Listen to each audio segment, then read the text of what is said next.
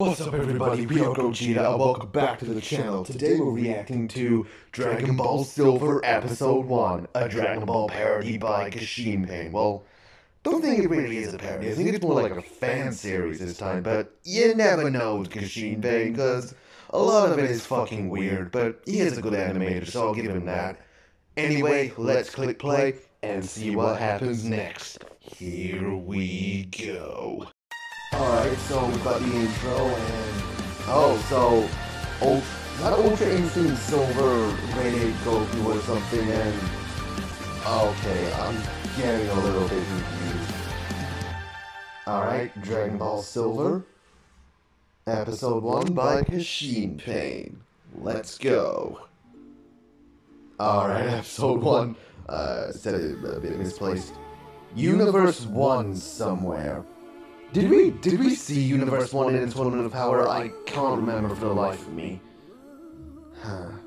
We probably did, probably didn't, probably got erased early. You never know.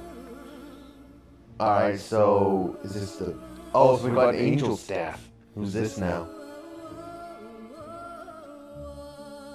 Oh, oh, we got a new waifu character? Or is she gonna be the main villain? Uh, oh, Oracle Fish.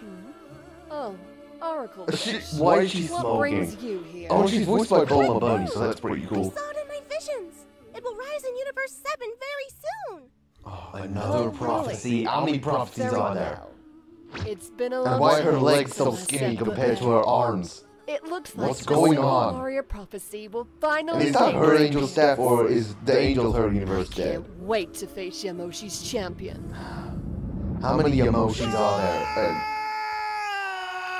Yamcha, what's up? no, Why did no, you scream? no! I did it That again! would never happen. Did you shit your pants? This is probably just Calm Yamcha's dream or something. I had that nightmare again. Again? I thought that if I turned into Bulma and slept with you, you would sleep better. Oh god, don't tell me that. It doesn't What work the apparently. fuck? Every night Why? she appears in my dreams. Why the fuck would you do that? woman.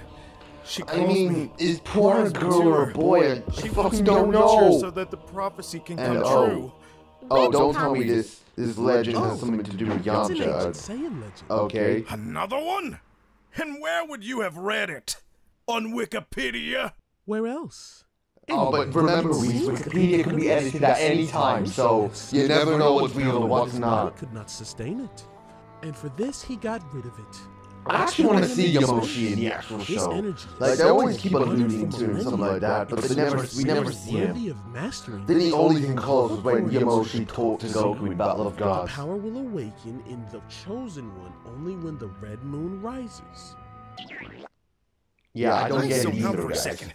What are we talking It's about? confusing the hell out of me. Why do we need so many legends? You see, I have been informed by the god of destruction of Universe 1 that his most powerful warrior intends to Alright, visit this planet just to face the Saiyan of Prophecy. Awesome! So why is I Vegeta can't in wait to Buu face him. outfit? Hey, Or is, crazy like, is hairstyle! like, Don't speak mm, right like you're the monkey something of like prophecy. I don't know. You need the red moon to prove it, and I don't Oh, I see think that's that in the his sky. outfit. Actually, there is. Yeah, Vegeta, you seem to forget that we can predict anything. Well, uh, But I don't see red any moon changes. do? What about you, Kakarot? Or is that red moon linked to whatever Yamoshi's Kakarot? silver eight thing gonna be? Oh, don't tell me Goku's gonna turn into silver gray ape. Alright. Cause that would be fucking weird. I'm just gonna tell you that right now. Oh, okay. Oh, there we go. There's the gray ape. Kakarot, aren't you okay? Yeah, you not know? You should know what a ape is.